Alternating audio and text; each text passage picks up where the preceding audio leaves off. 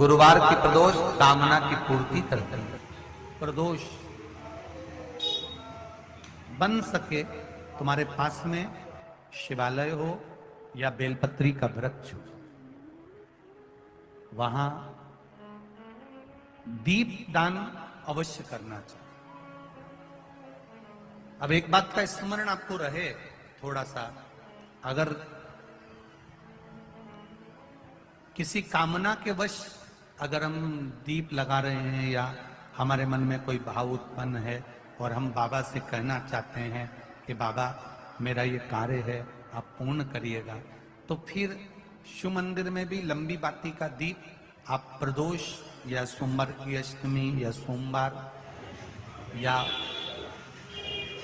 आप शिवरात्रि को बाबा से निवेदन कर कर लगा सकते हाँ विशेष जब कोई एक बहुत बहुत बड़ी बात हो और आपके कार्य में कहीं अटकल हो रही हो तो एक ही दीप में दो बातें, शिव और शक्ति, लंबी बाती बनाई, शिव और शक्ति के नाम से दो बाती एक साथ एक दीप में भी लगा सकते।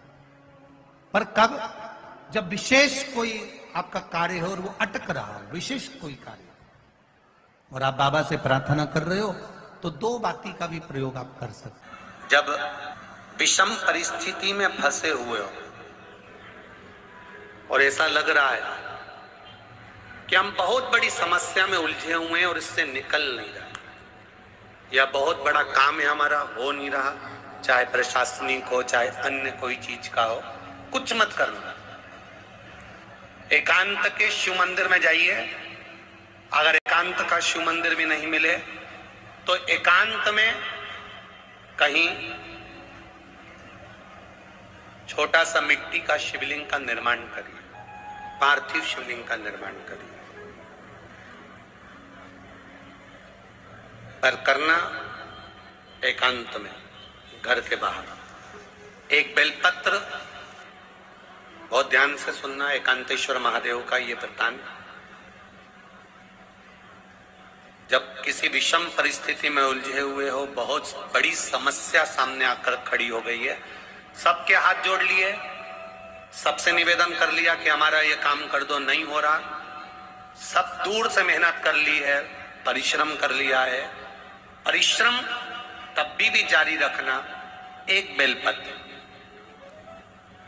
एक चावल का दाना, एक सफ़ेद पुष्प। शमी का पत्ता।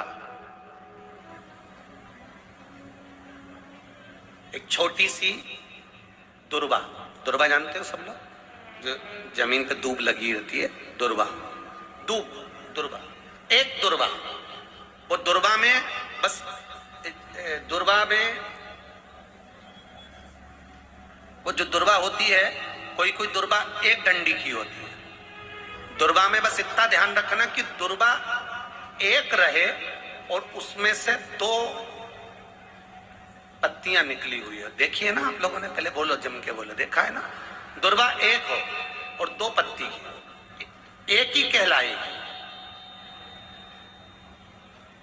दो पत्ती निकली हुई दुर्वा, एक। एक श्वेत पुष्प, शमी का पत्ता, बेलपत्र, चावल का एक दाना एकांत में कोई शिव मंदिर हो, अगर मंदिर ना हो तो एक छोटा सा पार्थिव शिवलिंग का निर्माण किसी पेड़ के नीचे एकांत में जाकर, पूजन कर कर आराधना कर कर घी का दीप लगाकर एक एक सामग्री शिव जी पर अपने मन की कामना कर कर समर्पित करना प्रारंभ कर दीजिए। शुरुआत दुर्वा से करना।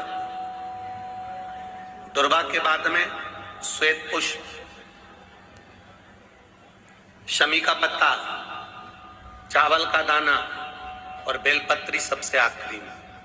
बाबा को समर्पित कर कर, हृदय से प्रार्थना कर कर, बाबा से निवेदन कर कर, दीप अगर मंदिर में कर रहे हो तो दीप ठंडा होने का इंतज़ार मत करना। अगर पेड़ के नीचे एकांत में शिवलिंग का निर्माण कर कर पूजन कर रहे हो तो दीप ठंडे होने का इंतज़ार करना। दीप ठंडा हो जाए, तब भगवान शिव को ले जाकर विसर्जन करना। जो जो एक बेलपत्री है, बस उसको घर लेकर आना, बाकी का सब विसर्जन कर कर आना। मेरा एकांतेश्वर महादेव, उस कार्य में सफलता प्रदान कर गुरुवार की प्रदोष पड़ती है तो शिव गंगा के स्थल पर निवास